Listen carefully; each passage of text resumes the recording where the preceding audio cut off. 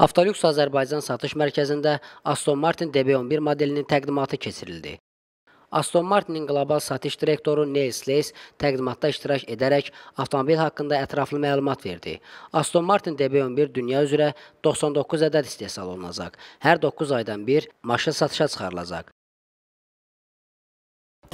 Only 99 will be produced.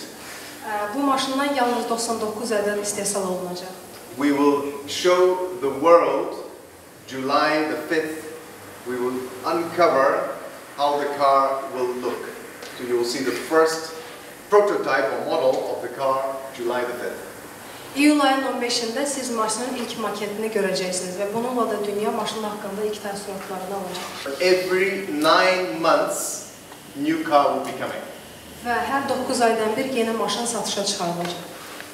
Avtomobilin göstəriciləri isə mükəmməldir.